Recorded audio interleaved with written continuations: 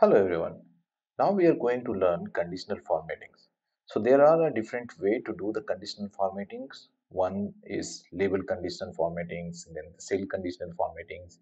Then we can do the calculations conditional formattings, then multicolor conditional formattings, then top five and bottom five conditional formattings. Then using the set how we can do the top five and bottom five conditional formattings, then the chart conditional formattings, so let's see how we can get the labels conditional formatting. So here we have subcategory and let me make it this entire view and we have year and the segment. Now we wanted to see this based on the profit. So let me drag it this. So here we wanted to see the profit whichever is the positive it should show as the green color whichever is negative it should show the red color so what we generally do, we drag the profit sections into the color. But as I said, I only wanted two colors. One is the red and green. I will select here red and green. But I can see here it's giving me the multicolors. So here we have the step colors. So in the step colors, select here these two colors and click on OK. And now here you have all the negative values. So here you can also define the center section. So as it is defined as a 0, let's say if we have defined, let's say less than 1000 is also coming into the red zone. So you can see whichever is less than 1000 is coming into the red. So here we can define the center place. This is label conditional formatting. In the same way, we can define, so let me just make it order date and then segment and here we have the profit. We wanted to highlight the individual sales. So we need to take profit, drag into the color section and make it this square. And again here I want it, it should be highlighted profit as a green and negative as a red. So again I will select here green and red and I will take it as a step 2 if we wanted to see the uh, the sales then we have to do the formatting. Just right click on this format go to the label and here row wise and the column wise give here row wise and the column wise give it the line. Yeah. So now we can easily identify what is the sales. And if you wanted to centralize the alignment you can alignment you can do the centralize. And if you wanted to increase the size of the font you can increase the size of the font as well. Now third one is conditional formatting based on the entire view order date and then we have the segment. Yeah. So again here we wanted to do the conditional formatting but not as we have done here as a label wise. So here it is the simplest way to do the conditional formatting. Let's say if we have some conditions where we can give some range and out here if we define the profit range let's say less than zero is the negative uh, profit from zero to zero to 500 it's uh, a low profit from 500 to let's say uh, 3000 it's having a average profit and more than 3000 it is the high profit. So let's say how we can define that and how we can do the calculations. So let's go ahead with the calculations. So here i will give profit conditional formatting so here we will write it if statement if sum of profit is less than 0 then it is a negative profit. Else if sum of profit is greater than equals to 0 and sum of profit is less than equals to 500 then it is low profit. Else save sum of profit is greater than equals to 500 I will just remove here equals to and sum of profit is less than 3000 then it is average profit else sum of profit is greater than equals to 3000 then so this is again else if sum of profit greater than equals to 3000 then it should be high profit and end. So this is how we can create the conditional formatting and then drag this into the color section. And let me define here negative is red low it is orange average it is blue high it is green. And if you want this you can also define on such a way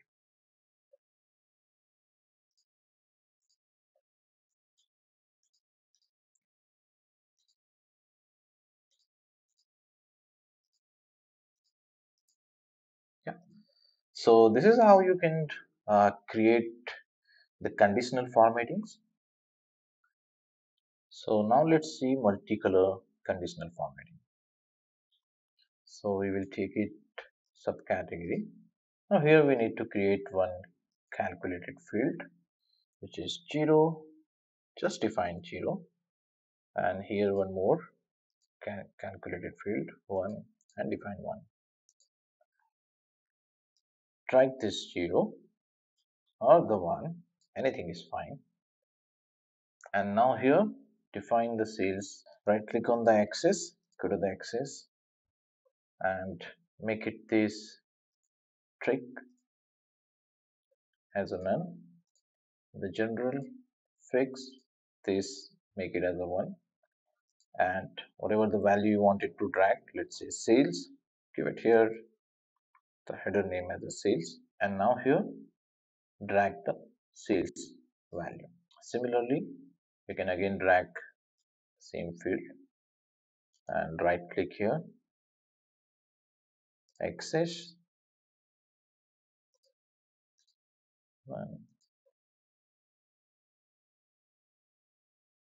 general make this as a one title give it as a profit can able to see here as a profit or you can want it to give. The second one drag here profit number and the profit into the column. So similarly you can uh, define here the different you know uh, the colors color wise you can define the multicolor conditional formatting.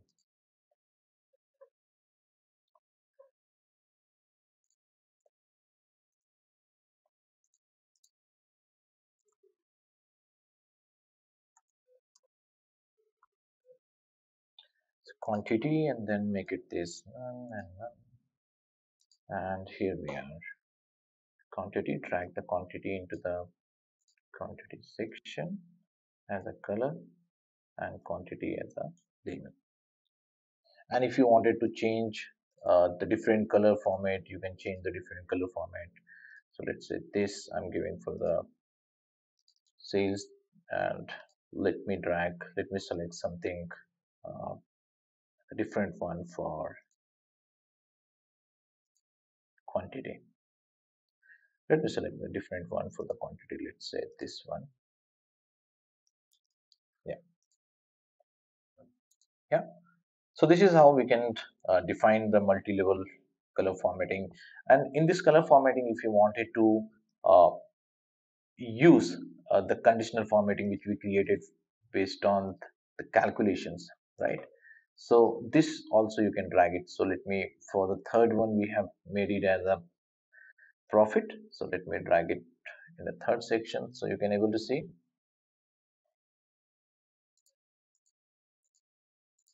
Right. So this is how you can uh, able to do the coloring and the conditional formattings you can implement based on the conditions as well.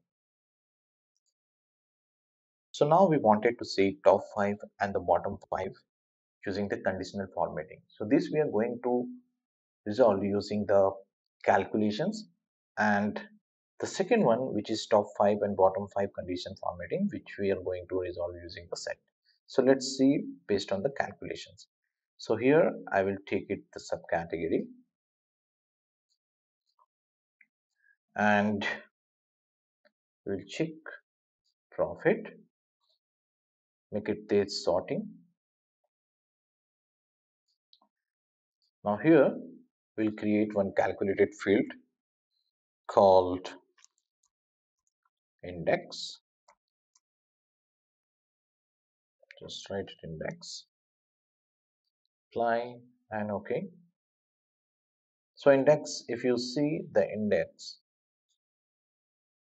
uh, let me make it this discrete. So you can see the index. So whichever the highest values are there so based on that it will give the index. Okay so we have to see from top five and the bottom five. So bottom five is last and use the last function. So based on this we will able to see the last. So let me just drag it here.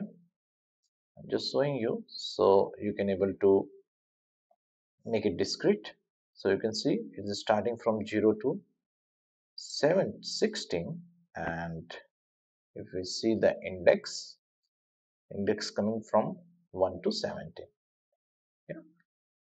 So we have created top and the bottom. So let's create one calculated field which is top. I'm just giving top 5 so this we can give index calculations which we created is less than 5 less than equals to 5 apply ok apply ok. Let's see what output it gives. So we can see here true value we can able to see here. We have to give the equals to as well so now 1 2 3 4 5 and let's say similarly we can create for the last 5 so last function less than equals to 5 apply. Okay. Let's see. So here we can able to see bottom 5 so i think to make it this remove this equals to apply okay. So here we have 5 bottom and top bottom right? So what we can do either way you can just hold this both together and drag it here. So you can able to see here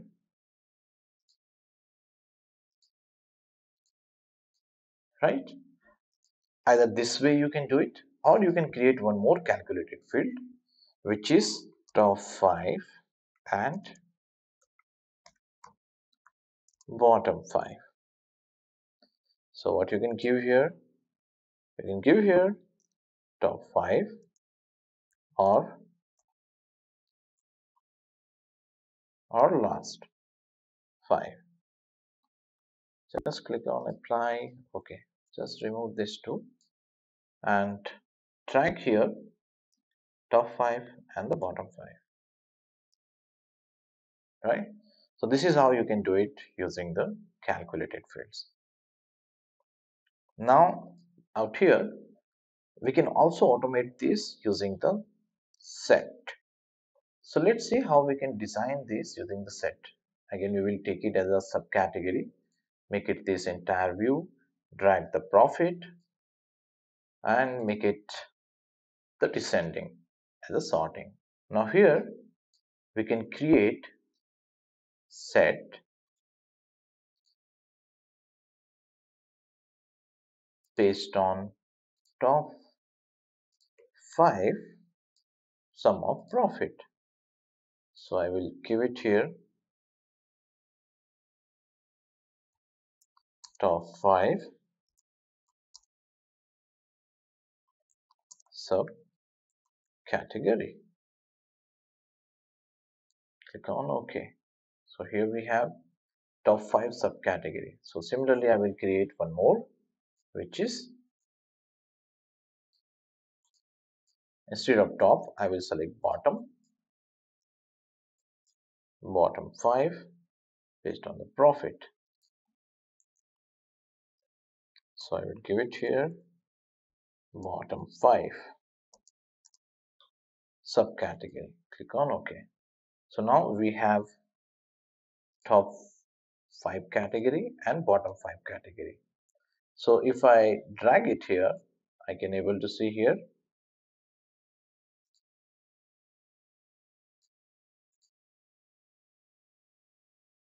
So these are the five categories is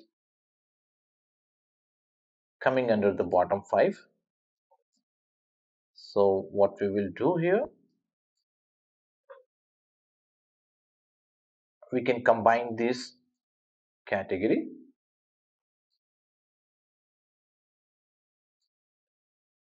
So how we can combine this? Just right click on this. Create combine set so here give it here.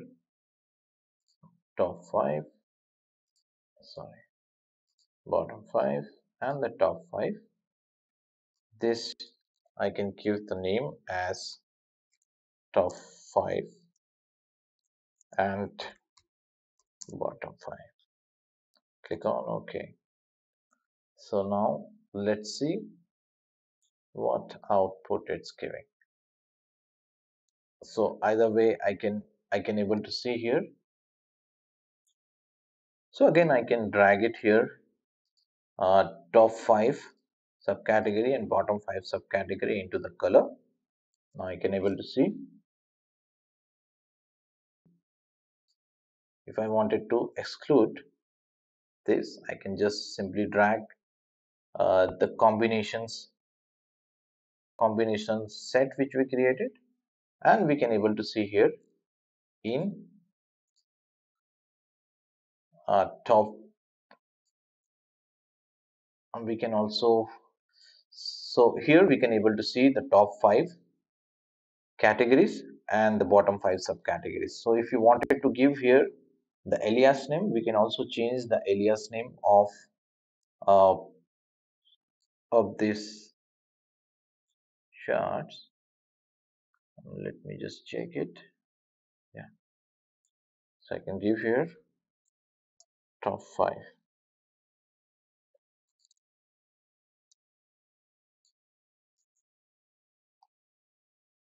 alias. Bottom 5 so this is how you can able to give the top and bottom conditions using the conditional formatting. Now we have chart conditional formatting. So in the chart conditional formatting, definitely we will be required 0 and 1 and based on this we are going to create a multiple way of designing. So let's drag here subcategory, make it this entire view, drag here profit and give here profit as a color also you can you can also give the so marks labels. Now second field, I wanted to take it sales. So sales I wanted as a highlight table. So for getting that, we have to create the, the dual things we need to create. And make it this as a dual axis. The first one I need to make it as a bar. Yeah. Now here, first this will remain the same. And this we will take it and sales and instead of circle select this as a text. And instead of this as a circle select here Gantt bar. And here you drag one into the size. And here you need to drag the sales into the label. Okay and make it this as a alignment as a central alignment. And now here you have you can just keep the bold so that it is visible for you. And if you wanted to change the color format you can change the color format from here and now the third thing which I wanted is conditional formatting based on the different shape wise. So let's say how we can define that. So before going to that, uh, I also wanted to highlight here one more thing, which is in the profit sections, we can able to see here the bars and the labels are coming outside, but I wanted this labels should go inside. So let's define how we can define here different shapes based on the values. So what I wanted, I wanted here uh, the numbers as well as the different shapes. So let's see how we can design that. So first of all, you need to drag here sum of 1 and sum of this. Make it this dual axis. Now first one, select this as a Gantt chart. Select this as a text. Second one, select as a shapes. Now in this shapes, select this conditional formatting which we created, drag it into the shapes. And here, drag the profit into the color section. Drag profit and this conditional formatting into the color section. And here, drag the label as a profit. And you need to define one of the field. Either way you can define here. Okay? And if you wanted to define this as a central and left side and let's say if you are increasing uh, the size so let's define here. For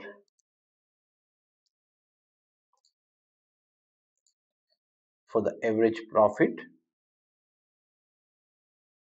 it will give as a blue. High profit it will be red. Low profit it will be for average let's say and we can increase here.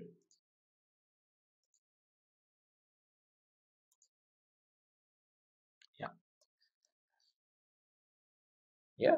so this is how you can uh, able to define the different conditional formatting inside the tableau